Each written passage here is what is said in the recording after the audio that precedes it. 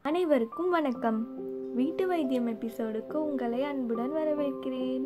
இன்னைக்கு நம்ம முகம் பொலிவுடன் திகழ என்னென்ன வீட்டு வைத்தியம் பண்ணலாம் அப்படின்றது தான் இந்த வீடியோவில் பார்க்க போகிறோம் குறிப்பு ஒன்று. நெல்லிக்காயை உலர்த்தி தூளாக்கி அத்துடன் பாசிப்பருப்பு மாவு கலந்து முகத்தில் பூசி பின் கழுவி வரவும். குறிப்பு இரண்டு. சுரைக்காய் தோளால் முகத்தை நன்கு தேய்த்து பின் கழுவி வரவும். குறிப்பு மூன்று. எலும்பிச்சை பழச்சாறும் தயிரும் கலந்து முகத்தில் பூசி சிறிது நேரம் கழித்து கழுவி வரவும்.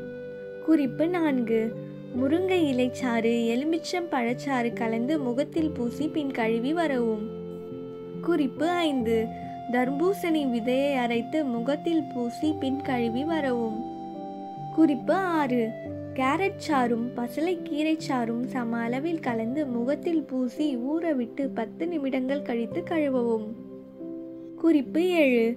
ரோஜா பூ இதழ்களை சந்தனம் சேர்த்து கரைத்து முகத்தில் தடவி பத்து நிமிடங்கள் ஊறிய பின் குளிக்கவும். குறிப்பு எட்டு. சந்தனத்துடன் மஞ்சள் பொடி கலந்து முகத்தில் பூசி பின் குளிக்கவும். குறிப்பு ஒன்பது.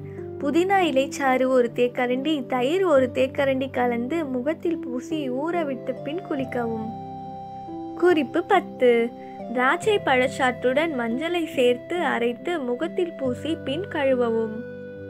இந்த வீடியோ உங்களுக்கு பயனுள்ளதாக இருக்குன்னு நினச்சிங்கன்னா சப்ஸ்கிரைப் பண்ணிக்கோங்க. அப்படியே பக்கத்தில் இருக்க பெல் ஐக்கானை ப்ரெஸ் பண்ணிக்கோங்க. அப்பதான் நான் பதிவிடுற அடுத்த வீடியோ உங்களுக்கு காட்டும். நன்றி. வாழ்க வளமுடன்.